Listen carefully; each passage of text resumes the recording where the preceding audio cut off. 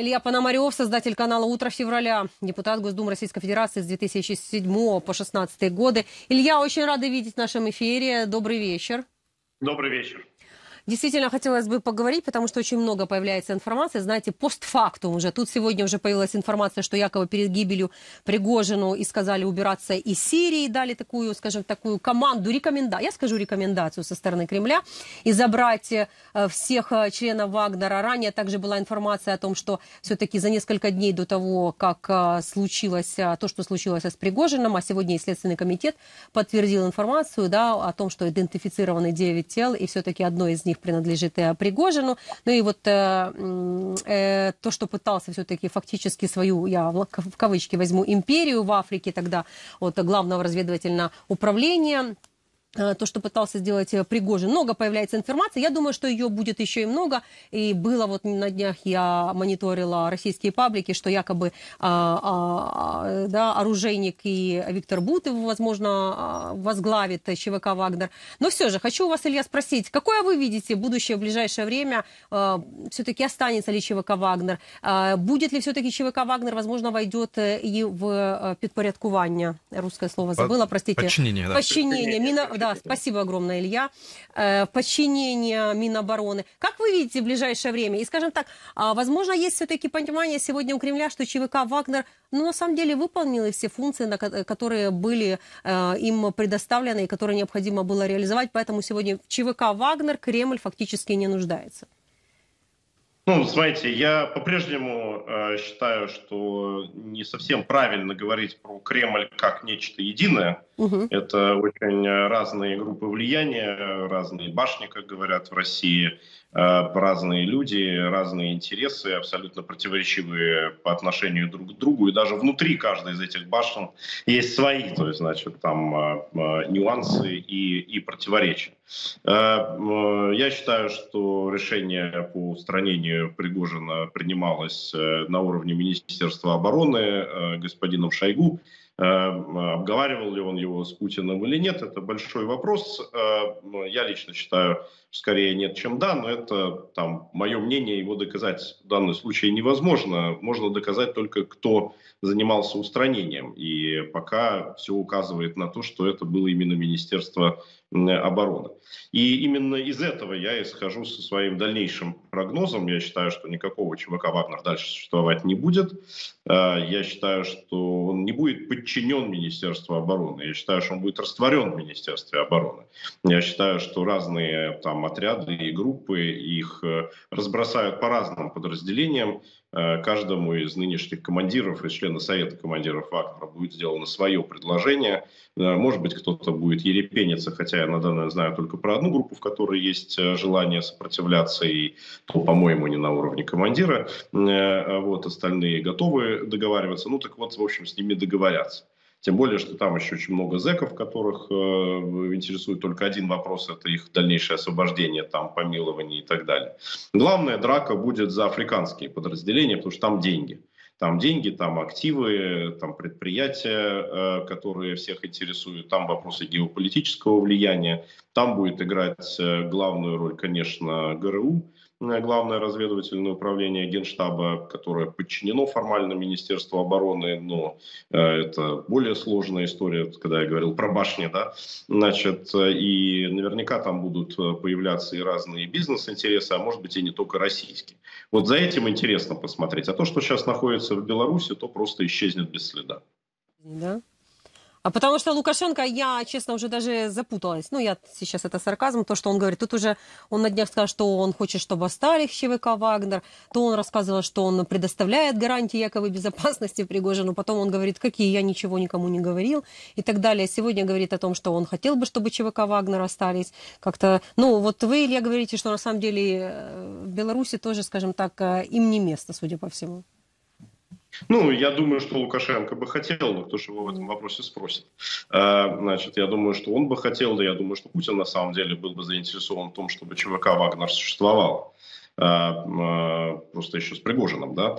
Я считаю, что они готовили ЧВК «Вагнер» в Беларуси к провокациям в Литве и в Польше. В этом смысле это была ценная история. Плюс и Лукашенко было бы полезно иметь такое отдельное военное подразделение, которое не входит в состав белорусской армии, и тем самым Э, значит, если у него будет какой-то бунт генералов, то чтобы были кто-то, кто бы этот бунт мог бы смирить, э, сбалансировать, во всяком случае, там ну, не такая многочисленная армия, и относительно численности белорусской армии ЧВК «Вагнер» — это очень грозная сила. Илья, я хочу, возможно, немножечко другого аспекта темы, которая касается также ЧВК «Вагнера», но хочу ваше мнение, почему это происходит. Вот за последние несколько дней, да, вот таких вот два случая, э, я помню, как в апреле, в апрель, да, 2023-го и настоящее время, и мы показывали, под Иркутском было найдено неизвестное ранее кладбище погибших как раз э, в войне против Украины наемников ЧВК «Вагнер», да, там очень много венков было, было видно, что это, ну, свежевырытые могилы и так далее. Вот сегодня появилась информация, что это кладбище как раз вот э, оно сожжено полностью. Перед этим мы также э, видели кадры, что происходит с э, кладбищем. Оно там полностью было перерыто, и его там выравнивают, да, тоже кадры, которые появляются сейчас в сети ходят. А что вот это происходит? Я прекрасно понимаю, что это делается, ну, с, да, там, с подачи все-таки местных властей. А почему, по вашему мнению, сейчас пытаются даже в таком виде, извините, что говорю это слово, но стереть, да, стереть как бы какие-то определенные знаки о том, что здесь, да, были там захоронено ЧВК «Вагнер». Ну, что это означает для... Почему вот местные власти идут на эти шаги? Ну, это халуйство, прежде всего, которое у них крови. Э, желание быть святей Папы Римского, продемонстрировать э, в Кремле, что вот они там ловят все возможные сигналы. Посмотрите на нас, мы, какие мы лояльные, потому что, ну, даже если Кремль этого не хочет, их за это точно не накажут, но запомнят о том, что значит, лояльность э, была проявлена. Поэтому это то, как, к сожалению, сейчас выстроена российская власть. Здесь нету ничего Э, такого удивительного. Помните, как э, в фильме «Убить дракона», да, но почему же ты был лучшим учеником? Вот это вот такие лучшие ученики, которых Кремль специально отбирал, и вот они демонстрируют свой моральный облик. Знаете, это же Путин, он из 90-х еще такой, да? Вот э, у меня он ассоциируется с тем, кто шел на костях к власти. И можно ли тут также называть вот эту ситуацию с Пригожиным? Это э, бей своих, чтобы чужие боялись. Вот так вот радикально относиться к еще вчера своему очень ближнему другу, которого ты подпускал даже в пандемию коронавируса на расстояние вытянутой руки, а сейчас, ну, опять же, мы в информационном пространстве не утверждаем, что именно Путин причастен к этому, это пусть там следствие само разбирается, но сам факт очень удивительный. И э, предрекали очень многие как раз смерть э, Пригожину именно вот подобным образом. Можно ли говорить о том, что Путин в этом плане еще и делает то, уже с ликвидированным Пригожиным, чтобы других, у других даже такой мысли в голове не было. Знаете, я думаю, что ситуация чуть-чуть другая. А вы очень правильно говорите по поводу вот, э, криминального мышления. Угу. Но э, Путин же это тот человек, который не был сам из банды. Он был тем человеком, который крышевал многие банды, которые существовали в Санкт-Петербурге. Там были разные группировки, конкурирующие. Э, другое дело, что Путин, конечно, со своей группой, вот этом кооператив озера, они сами превратились э, в такую же банду, но это была банда от власти. Но они восприняли правила игры, которые существуют в этом бандитском э, криминальном мире. И в рамках этих правил игры, ну что, то есть один из Э, путинских миньонов Пригожин наехал на другого, на Шойгу. Значит, э, э, Шойгу опустили. Ну, после этого Шойгу вот взял вот эту свою ракетную заточку и замочил своего обидчика. С криминальной точки зрения он был в своем праве. Он действовал в рамках бандитских понятий, и к нему в этом смысле претензий никаких быть не должно. Но еще раз скажу, это же не значит, что смотрящий дал на это команду, да, то есть смотрящий говорит, ну, человек вправе, он, вот, он поступил по понятиям, даже может э, зауважать после этого Шойгу, как, с которым последние два месяца вообще все перестали считаться. Ну, он перешел, переходил там в разряд терпил, да, то есть человеком, э, который был вынужден прятаться, когда за ним охотились, э, соответственно, вагнеровцы. Но вот он показал, что у него свои зубы есть. Ну а какие будут уже более долгосрочные выводы? Потому что это же выход за рамок уже бюрократической вот этой самой лояльности. Вполне возможно, что Шойгу это отольется, хотя не очевидно. И еще один момент. Э, а как, какая судьба преследует э, всех тех, кто работал с э, Пригожиным лично? Я не говорю там о его личных там наемниках, да, вот военных, которые там и в Украине воевали, mm-hmm. и в Африке с ним вместе, но все же э, тех людях, которые были в его команде. Потому что, насколько я понимаю, для меня образ Пригожина это такой общий образ мнения тех, кто был с Путиным, но после э, полномасштабного вторжения России в Украину их мнение поменялось, потому что ни для кого не секрет, что башни Кремля давно уже пошатываются и спорят между собой, и что Пригожин это также частичка еще и олигархического режима. Они через него показывали э, настроение э, тех людей, которые, у которых иное мышление на Путина. Может ли какая-то такая участь ждать и тех олигархов, которые недовольны санкционным режимом, политикой Путина в целом? Смотрите, Пригожин был в законе. Более того, бизнес Пригожину создавал лично Путин.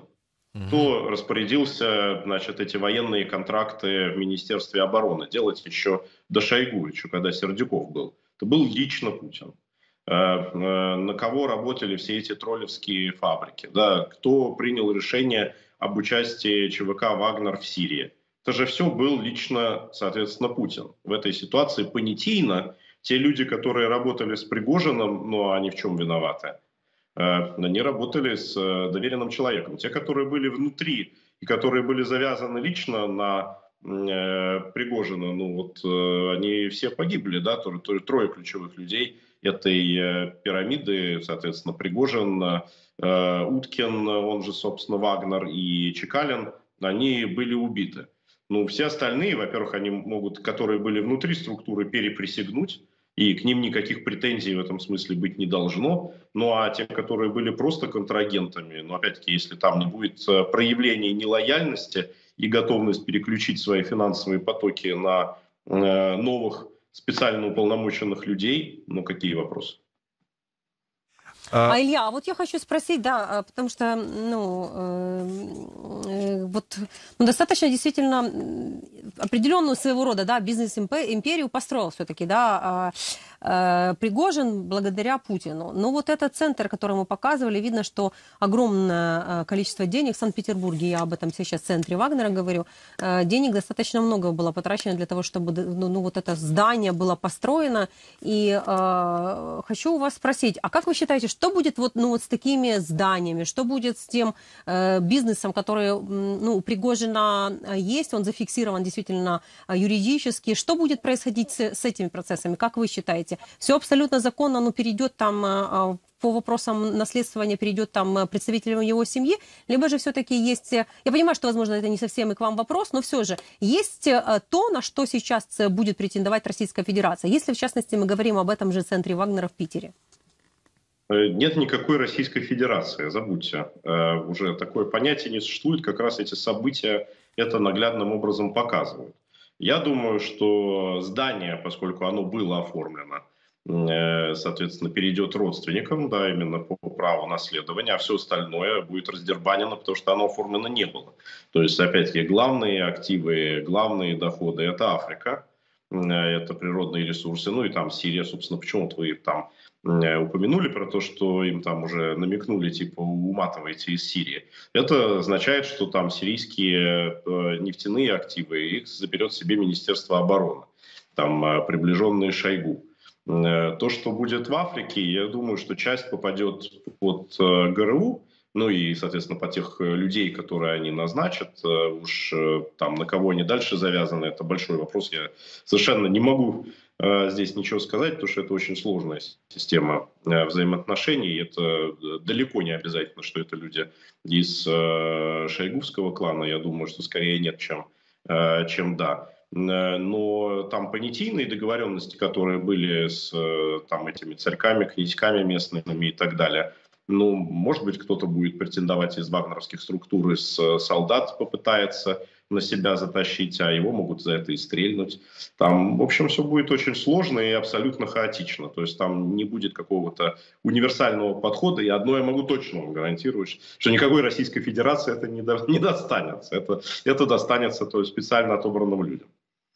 Э, Илья, тогда продолжение. Я смотрю о численности. Да, в марте, ну, а действительно, точно сказать о количественном составе ЧВК «Вагнер». Я использую ту информацию, которая э, сейчас э, можно найти, и то, что предоставляет Википедия. В марте 2016 го тысяча декабрь 2017 6 тысяч, во время вторжения России в Украину 78 тысяч по оценкам командования ЧВК, из них заключенные 49 тысяч, э, а Белый дом, тогда цифру говорил в январе 2023 50 э, тысяч. Ну, скажем так, действительно, есть огромное количество тех, кто был ликвидирован на территории Украины во время, во время военных действий.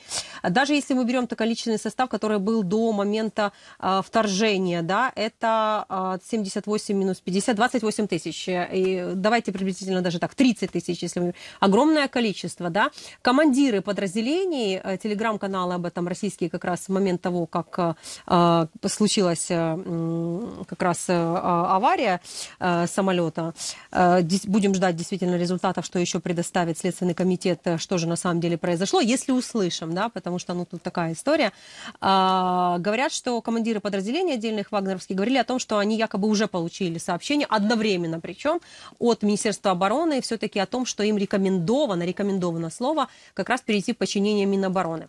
А как вы считаете, вот с оставшимися, они могут, как, есть вариант, что они перейдут, например, в другие ЧВК, будет ли им это предложено? Та же ЧВК «Конвой», которая претендует да, занять позиции Вагнера в Африке. Насколько сейчас другие частные военные компании в, Российской, в России, да, видите, исправляюсь уже э, по ходу нашего с вами общения, исправляюсь, э, в России заинтересованы, чтобы э, ЧВК Вагнер и эти наемники присоединялись к другим ЧВК. Ну, потому что давайте скажем, что все-таки ЧВК Вагнера, если мы говорим с точки зрения умения вести и военные действия, они все-таки даже э, здесь э, были впереди и э, тех же военных, которые сегодня, на сегодняшний день представляют тоже Министерство обороны Российской Федерации, что, в принципе, не очень всегда и нравилось тому же Шойгу. Понимаете, во-первых, э, подавляющее количество других ЧВК на самом деле не существует. Угу. Они существуют только на бумаге, это разнообразные аватары. Кто-то перекрасил свои ЧОПы, частные охранные предприятия, значит, назвал их ЧВК. Э, кто-то там э, создал что-то, что называют ЧВК, но там просто никого нету. Но в целом там то, что видите по Африке, там по конвою и так далее, это и есть то, что я говорил, что будет происходить э, Дерибан. А во всем остальном э, ну, не заинтересован никто в том, чтобы сохранялись э, вот эти отдельные какие-то автономные группы хорошо друг с другом знакомых людей. Все заинтересованы в том, чтобы их максимально раскидать э, по разным подразделениям. В качестве там промежуточного шага могут какое-то время их сохранять в рамках структуры Минобороны, но это будет недолгосрочно. Э, Министерству э, обороны это ни в коем мере не выгодно, просто там чисто технически, там, скажем, чтобы сохранить э, уровень финансового обеспечения на какое-то время, они могут продержать вот какое-то подразделение, но Э, я думаю, что не позже, чем конец этого года, какие-либо следы ЧВК «Вагнер» э, из числа тех, которые находились на территории Беларуси, исчезнут. Которые в Африке могут э, продолжать существовать под другими вывесками, и там другого типа люди, просто гораздо более сильные, грамотные, профессиональные. Но это чисто наемники за деньги. Им, собственно, все равно кому служить, кто будет платить, там они и будут. Услышали вас. Спасибо большое за то, что нашли время присоединиться к нашему эфиру. Напомню, Илья Пономарев с нами был э, на связи, создатель канала «Утро февраля», депутат Госдумы Российской Федерации с 7 по 16 год.